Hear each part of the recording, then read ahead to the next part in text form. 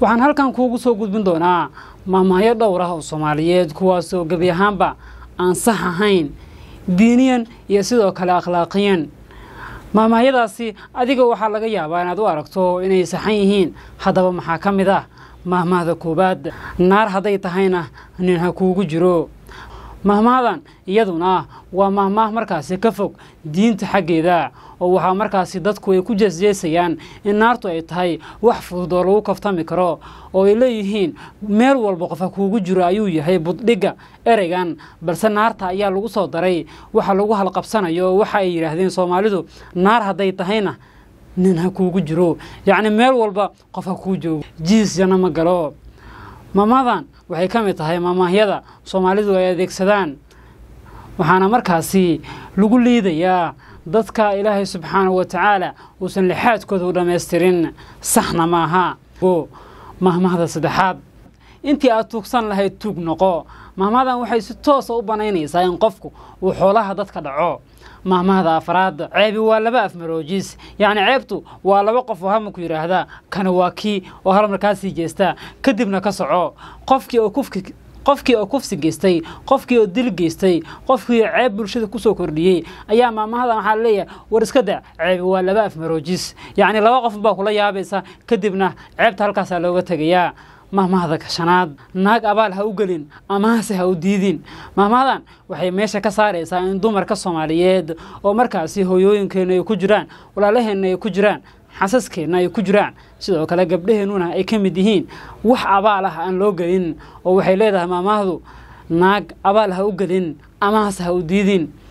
Maamahda lixaad intii ay dhashaadu tagoogta ku jiri lahaayeen tubaha hadaadsanaadaan maamadan waxay si toosa u banaynaysaa in qofka si qayla mas'uulnimaah oo iskaga guursado waxa uu dhali karana uu dhalo isagoo aan mas'uuliyadda iska saareen ilmahana meeshay doonaan ay ku daadsanaanayaan amaba qaybta dambe ee maamadu waxay leedahay tubaha hadaadsanaadaan yacni bannaanka ha yaalaan si qayra mas'uulnimaah sax maaha maamahdani maamahda toddobaad. La jiifiyaana bannaan la joojiyaana bannaan.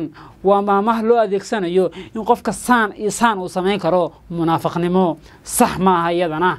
Maamahda sideed balaayo ama lug la-aatay ama il la-aatay. Tanina waxaa loogu gafayaa dadka laxaadkoodu aysan dhammaystirnayn saxna maaha maamahda kale dumar been baa lagu soo xirogeliyaa run ayaana lagu dhaqaa. Tani waxay ka fog tahay dhaqanka islaamnimada oo beentu qofka muslimkaa uma bannaanaa nebigeenna moxamed sala allahu calayhi wasalamna wuxuu yidhi qofka muslimkaa waxyaabo kale waa uu samayn karaa balse been ma sheegi karo.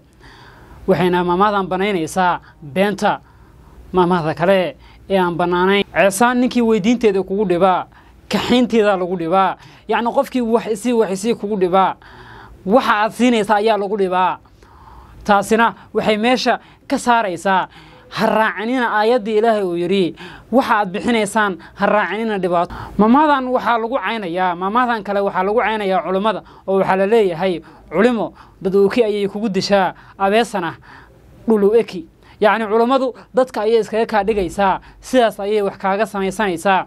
Maamadan waxaa si toosa loogu gafayaa culimada culummada islaamka. Maamada kale meeshii ay dumarkii carruurta kugu bartaan waa laga guuraa.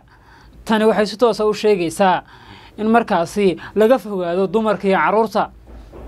Dhaqan saxanna maaha. Maamahda ugu dambaysa gabari waa meel xujoog maamadan waa maamaha cunsurnimo ay ka muuqato dumarkana lagu faquuqayo laguna tilmaamayo inay meel xujoog yihiin. Maamahyo badan oo sidan ayaa jira qaybo kale oo kala duwan ayaana ka samayn doonaa. Ku mahadsani daawashada muuqaalkan adiguse miyay kula tahay in maamahyadan ay qaldan yihiin